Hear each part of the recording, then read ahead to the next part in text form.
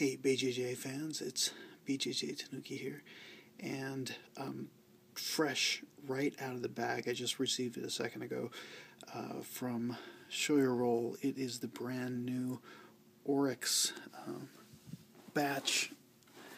Take a look at this. It's pretty damn amazing. Now we're we have a navy gi here, but this is not like the navy cements gi. This is a much darker and you're looking at a pearl weave. It feels really soft. I like this yellow contrast stitching. And as you can see, they have a ripstop along the lapel. On the uh, shoulders here, we have some embroidery and your um, Shoyoroll logo there. And just work our way down the arm. We've got some contrast stitching here, and uh, and I really like this with um, this particular batch. You have a different kind of stitching here. Um, as I understand it, John Smalls, who was responsible for the awesome Rio Koi, is uh, the co-designer on this, so probably explains why it has these little cool elements. Let's take a look inside here. And yes, you're looking at some Asian themed here. Looks to be some flower design. And let's work our way down. We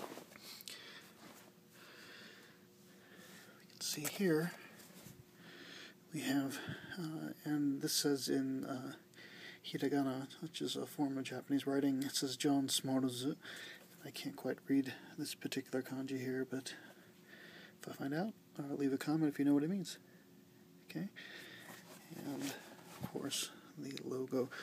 I like this. I don't know what the deal is with the color, but it almost has like a reddish or orangish tinge to it, which is really kind of cool. Um, now, one thing I'm noticing on this particular logo, as you can see, looks like there were some stitching issues there. Uh, not a big deal, but something you might want to be aware of.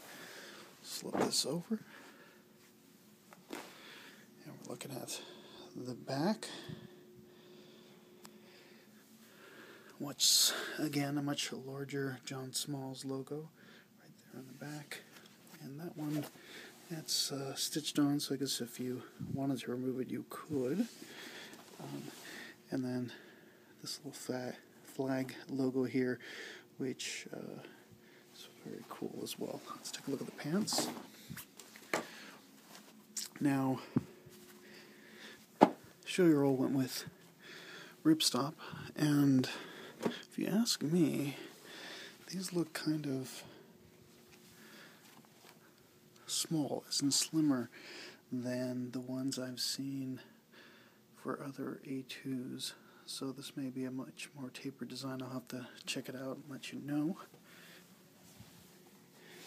If you take a look at the inside, rather than the pearl weave, they have just a cassette made out of ripstop material.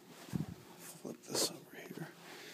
And instead of the Shoyoroll badge that's on many of the gis uh, recently, you're seeing this uh, embroidered logo again. And the fan makes its way onto these pants as well. Let's take a look at the back. Just a very straightforward navy design. I pulled this bag for you. This is the bag that comes with it. Very similar to the one I saw with the competitor. It's kind of like got that uh, crinkly kind of material, the double uh, rope on both sides, so you can use it as like a backpack.